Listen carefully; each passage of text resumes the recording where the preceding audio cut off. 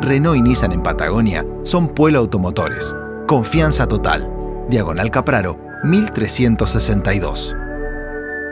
Eh, el primer sábado de marzo ya vamos a dar inicio a este taller de habilidades sociales, participación ciudadana, revista y cortos, destinado a personas con discapacidad que hayan cumplido los 18 años y aquellas personas que, si bien no han cumplido 18 años, se encuentran fuera de una institución que les permita el desarrollo o el fortalecimiento de sus habilidades sociales es eh, una etapa de la vida de la persona con discapacidad cuando queda fuera del ámbito escolar, donde su participación social queda limitada al entorno familiar. Entonces la habilidad social se empieza a, empobrecer o directamente no, no se trabaja o no se adquiere.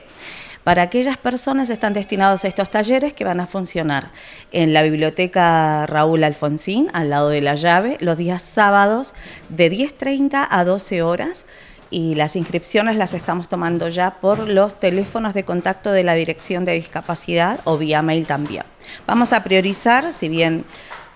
eh, puede haber algún deseo de inscribirse de alguien que esté participando de, otro espacio, eh, ya sea recreativo, de formación, vamos a priorizar en los cupos a aquellas personas que no tienen ningún tipo de participación social. La idea es que la persona con discapacidad pueda desarrollar su, autonomía, fortalecerse, hacer relevamiento de los espacios públicos, hacer salidas, escribir su mirada en esta revista que luego tenemos la intención de difundir a la comunidad, de dar a conocer y también de expresar eh, creativamente a través de los cortos. Hay personas con discapacidad que tienen una vocación eh, fuerte por la actuación, así es que eh, ofrecer este espacio de cortos también nos pareció apropiado. Eh, va a estar a cargo